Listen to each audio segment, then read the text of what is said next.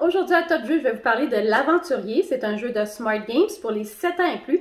C'est un jeu de 60 challenges où il faut euh, se déplacer dans un labyrinthe. Donc, je vous explique comment on joue, je vous dis ce que j'en pense tout de suite après. Le jeu L'Aventurier vient avec un guide de challenge, ici de 60 challenges. En plus d'avoir les solutions à l'arrière, vient avec un plateau qui contient euh, des pièces. il faut bien euh, regarder parce que chacune des pièces est identifiée par un sigle. Donc ici, c'est un plus, ici, c'est une croix, un losange, un triangle, etc. Ça vient avec un aventurier. Et ce qu'on voit dans le fond ici, on appelle ça la fosse au crocodile. Donc, évidemment, euh, une des règles, c'est que les, les, emplacements vont être glissés seulement. Donc, on n'a pas le droit de les sortir. L'aventurier n'a pas le droit de passer dans la fosse au crocodile comme ceci. On ne peut pas non plus déplacer une pièce où il y a l'aventurier. Comme vous voyez, c'est coincé par euh, la, pièce ici. L'aventurier n'a pas non plus le droit de monter au deuxième étage s'il n'a pas un escalier comme ceci. Vous voyez? Donc ça, ce sont euh, des règles de base. Alors, ce qu'il faut faire, disons qu'on prend le premier challenge. La première chose à faire, c'est d'identifier la sortie. Donc, on voit que la sortie est ici. Alors, on va tout sortir.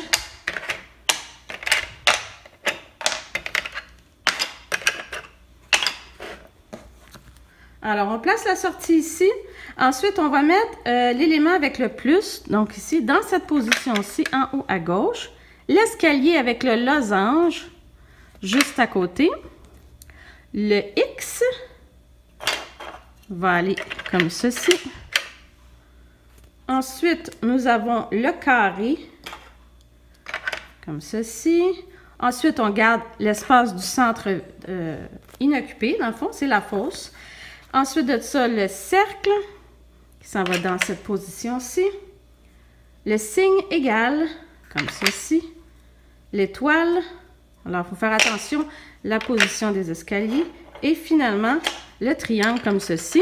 Et l'aventurier commence en bas à droite.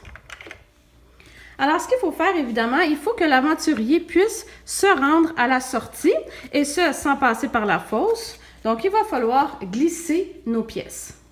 Donc, disons que je fais seulement euh, déplacer celle-ci. Si on regarde, mon aventurier monte, redescend, vient se placer ici. Mon deuxième mouvement serait de remettre l'escalier et à ce moment-là, mon aventurier peut sortir. Donc, j'aurais réussi le premier challenge. Et si on veut en être certain,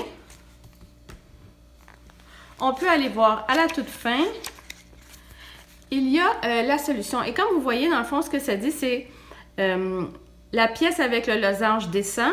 Ensuite, le personnage va deux fois à gauche, monte, deux fois à droite, monte. Ensuite, on remonte la pièce avec le losange et le personnage, finalement, fait gauche, gauche, gauche. Donc, c'est comme ceci qu'on peut lire euh, les solutions.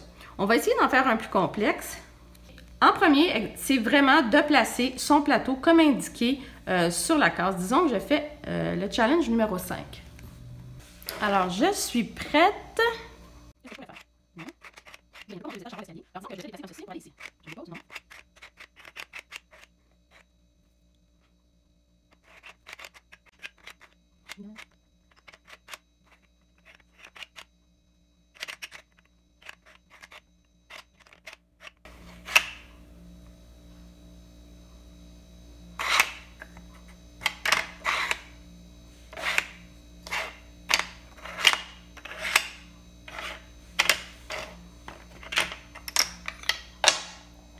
Finalement, je l'ai eu.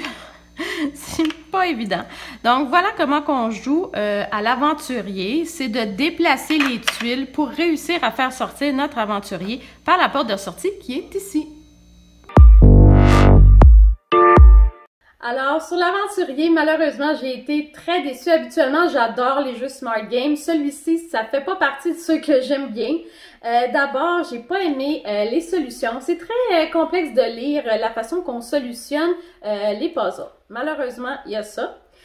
deuxième chose, en fait, c'est un jeu où les couleurs, c'est très triste. Là, c'est un beige pâle et un vert Oui, je comprends qu'on essaie d'être dans un labyrinthe euh, de, de pierre.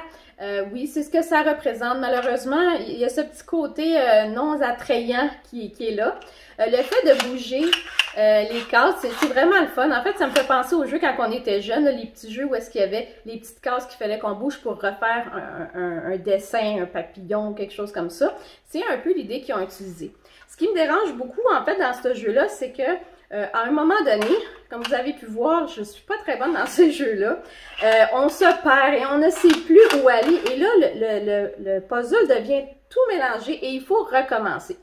Et pour recommencer, à ce moment-là, il faut tout vider le plateau et tout replacer dans l'ordre. Et comme vous avez pu voir dans la démonstration, c'est très, très long à placer le plateau de départ puisqu'il faut vérifier dans quelle position on met chacune des pièces pour s'assurer qu'on peut les glisser dans les bonnes positions.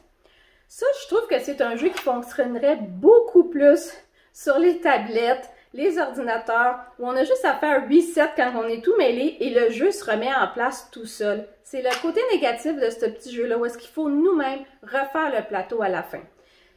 C'est sûr que l'idée est correcte, ça fonctionne aussi si on est plus patient que moi, j'imagine.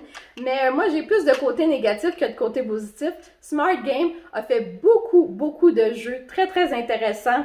Celui-là, il en fait pas partie, malheureusement pour moi. Je vais pas vous le recommander. Donc, euh, je vous dis à la prochaine. N'oubliez pas d'appuyer sur subscribe. Donnez-moi des thumbs up. Bye!